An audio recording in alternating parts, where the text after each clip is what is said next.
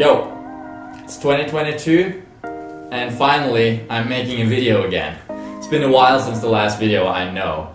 Um, I want to talk about my 2022 goals for my running goals this, uh, this year. Uh, a little bit about goal setting in general and a quick just uh, recap of how my training has been going for the last couple of months. So 2021 was a good year. Interestingly, it started out you know, my goal for 2021 was actually just to arrive at 2022 injury free, uh, ready to train seriously, right? And that's what I've done. I have arrived, I am stronger, I'm a better athlete, I've learned a lot, and I've actually done it's one of the it's it's the best year of training in my life. I've actually done more volume than ever. I've done a lot of cross training and a fair amount of running too.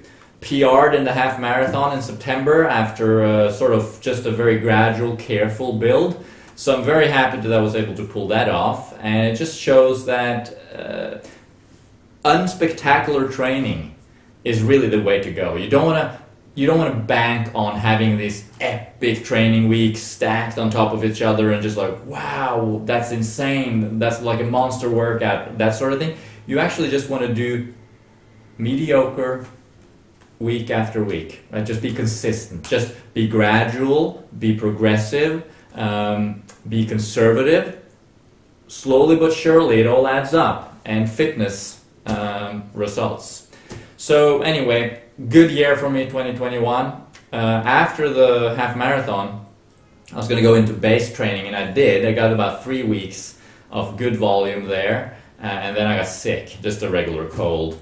And so that was a little bit of a hiccup uh, a little obstacle in the road. And, and, and so over the last uh, month or so I haven't been able to run as much as I wanted um, but still been able to keep it consistent. And now I'm here in Nice, France and I am ready to start training uh, more. hey guys, just popping in quickly. I wanted to let you know that if you are a runner and you have some running goals for 2022 maybe you're a beginner just trying to get started running, or maybe you're already a seasoned runner but you want to train better, then I would love to help you out. I offer online coaching. Basically, I offer different plans. You can check them out on my website. There's a link in the description below this video. Um, but they all include a custom plan optimized to fit you and your needs and your goals, as well as unlimited WhatsApp support and communication with me through the online interactive training calendar. All right, so if that sounds cool, um, don't hesitate to uh, contact me through the website. I would love to help you out. All right, that's all. Uh, let's get back to the video. So, goals for 2022. Well, in terms of race goals, well, actually, let's take other goals first. Um, train consistently, uh, stay injury free. Um, those two goals, actually, those are the most important. They're even more important than the races because if I don't train consistently and stay injury free, I won't even be able to race, right? So those are actually the most important goals that I have. So I got to focus on that. Stay consistent and don't do. I shouldn't do any sudden changes in training, which is why right now, coming from base training phase, going into a race build up, I'm actually now spending about a month um, as a as a little training cycle, training phase in itself where I'm adapting my body to workouts again, like harder workouts, faster workouts, slowly increasing the amount of fast running that I do before I get to like February where I'll start actually doing proper workouts, if you know what I mean. So, um, yeah, consistent training throughout the year, that's a big goal. I've set a goal for myself 3,500 kilometers in 2022. I don't know. Uh, I'm pretty sure I'll hit 3,000 uh, can I hit 4,000 maybe? I mean, I don't want to do more than that right now. We'll say that for next year uh, because we, we want to have that gradual build, right? So maybe 3,005. I, I, I totaled 2,600 kilometers this year, but there was a lot of cross training too, which I'll do this year as well. And so I'm hoping it's going to be my best training year so far. Um, race goals, pretty simple actually. I have a, a block now uh, over the winter spring uh, focused on 5k and 10k. I'll get back to that. And then in the autumn, I'm going to try my first marathon. I definitely want to do my first marathon. I remember sitting here, must have been three years ago now. There's a video where I'm sitting right here, uh, talking about my goals and mentioning that I want to do the marathon. And um, didn't turn out that way for various reasons. Um, mainly, I had a health issue, uh, but now I'm here, and 2022 is on, and I'm just excited, and I think that I should be able to do my first marathon in in, in um, September, October, November, depending on where I choose. Hopefully here in Nice, in France, but we'll see. So the marathon build will start this summer sometime. I'll build up my volume, get it up to maybe 100k per week, maybe even touching on 110 kilometers per week, typically, um, and, and and and do a specific marathon build. You know, um, we can talk more about that in another video later when I start doing that. But before I get there, I have my eyes on a, a 10k race in April, Sentrumsløpet in Norway um, the end of April. And I thought, why not also throw in a 5K in the beginning of April, right? So three weeks apart, those two races. So that's sort of the idea. Um, working on a little bit of those faster types of races this uh, this spring. I think now after doing my half marathon and just doing a lot of volume and slow distance and marathon pace and some threshold stuff this last year, I'm thinking now let's let's get a little towards that sort of fast end of things and work a little bit. I wouldn't call it speed. That would be more like you know like 1500 meter, 800 meter pace type of work, speed. Uh, I might still throw in a little bit of speed work, but that's risky with me and my injury history with tendons and everything, which is probably also why I need it. But it's uh, you know we got to sort of um, compromise a little bit. And I think at this point uh, working a little bit more specifically on my VO2 max and and yeah, getting ready for a 5K and a 10K. I think that would be fun.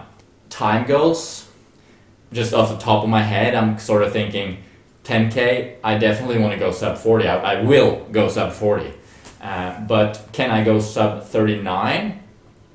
Maybe. I, I think so. That's a reasonable goal. We'll see as the training progresses. Uh, it would be nice to go sub 38 to be honest, and see the 37 number there. And for 5K, it's kind of, you know, similar situation, just definitely going to go sub 20. Uh, can I go sub 19 though? Maybe. I, I, I, don't, I don't have enough experience in that sort of pace realm to know for sure. And could I go sub 18? Who knows? This, this is a long range, right? So I, I have no idea at the moment. I'm just looking at tables and stuff. That's sort of what is indicated somewhere in that ballpark. But we'll see as training progresses. So anyway, I'm going to do a lot of threshold training, a lot of VO2 max training, uh, and keep my volume actually pretty moderate over the next few weeks and months. Uh, so instead of sort of pushing the volume, I'm focusing now more on quality. Going to do two workouts a week plus a long run. Uh, let's talk about my schedule in another video and how I'm planning to execute that build up. But so that's it. So yeah, so 5k and 10k April first goal of the year race wise, and then marathon uh, in the fall, and, and we'll just do a whole lot of miles, kilometers, base stuff in the summer. So that's sort of my goals. But honestly, I've learned a huge lesson this year, and, and that's what I want to also finish off this video with and tell you in terms of like your goals and how how I think anyone should um, approach their goals when it comes to running. And what I've learned is that if you get too excited about your goal, I mean, don't get me wrong, you, should be excited about your goal, but if you get too excited and you get too focused on that one goal, um, as in a race, for example, particularly races, then it's very easy to lose track of those good principles in training, right? So you, you just say, oh, okay, at this date, I want to be able to run this fast and then I got to do this and this and this in the weeks before. And you're just focused on the pace and you're just focused on the race and not on the training.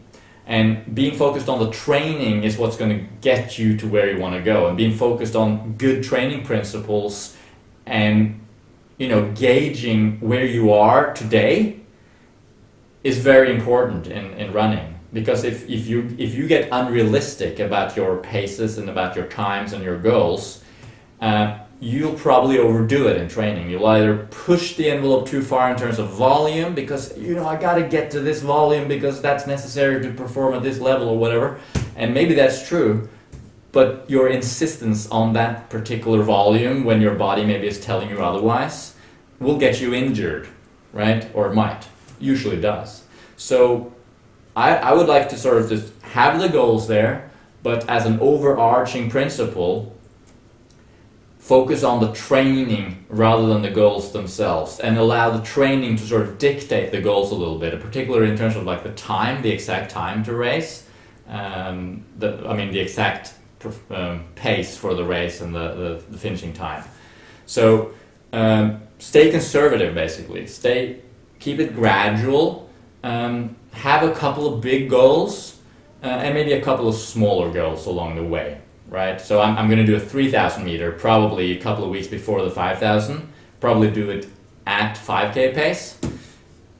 That could be a little bit of a sub goal, right? Like so, you know, you need to have this, these different goals, but mainly focusing on training rather than being too obsessed about the goals. The goals are sort of like a bonus feature of the whole thing, right? Like something like a carrot that you dangle in front of yourself. Just ah, the, the, the, I'm looking forward to that race. I'm going to try and race fast, whatever. But if you get too obsessed about it, you won't be able. You, you'll overdo it in training, and you won't even arrive at the starting line. So take a step back, look at where you're at today, plan accordingly, train well, take your recovery don't overdo it. No sudden changes. Gradual increase, progression. You know, all those good principles. That's uh, that's really key. That's it for the first video of 2022. I hope to do a lot more. I'm not gonna pin myself down to a particular schedule just yet, but I do want to get regular about it, and I'm gonna do my best to get that done. What are your goals for 2022? Please let me know. Post a comment down below where you tell me what your goals are. Could be anything. Could be it could even be non-running related if you want. Um, but if it, if, if it is a race or whatever, uh, what race is it? And what, what your what's your time goal? What's your distance goal? What, whatever type of goal you have, tell me about it in the comment section. Subscribe, of course, if you haven't done so already, and stay tuned for more videos. And by the way, I'm working on that ebook. Still working on that ebook it's coming out at some point soon, hopefully. All right, thanks for watching. Good to see you again, or I guess I can't see you, but you can see me. I hope you feel that it's good to see me. I'll see you in the comment section. Thank you. Bye.